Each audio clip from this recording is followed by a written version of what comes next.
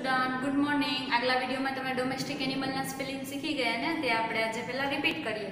તો વન નંબરમાં છે cow C O W two નંબરમાં છે dog D O G three નંબરમાં છે goat G O A T અને ફોર નંબરમાં છે ડોંકી ડી ઓ એન કે ઈ વાય હવે તો આપણે આગળના સ્પેલિંગ શીખીશું. તો તમે સી ફોર શું બોલતા? કેટ તો કેટનો સ્પેલિંગ શું થાય? સી એ ટી આ સ્પેલિંગ તમે એ ટુ ઝેડના સ્પેલિંગમાં શીખી જ ગયા છો.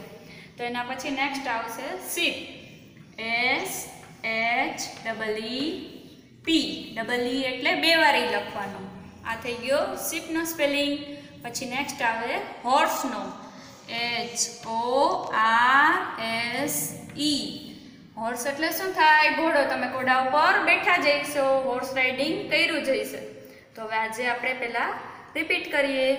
સી એ ટી કેટ પછી S H double E P C પ અને લાસ્ટ છે H O R S E horse તો આ થ્રી સ્પેલિંગ તમારે ફોર લાઇનની બુકમાં બોલી બોલીને લખવાના છે.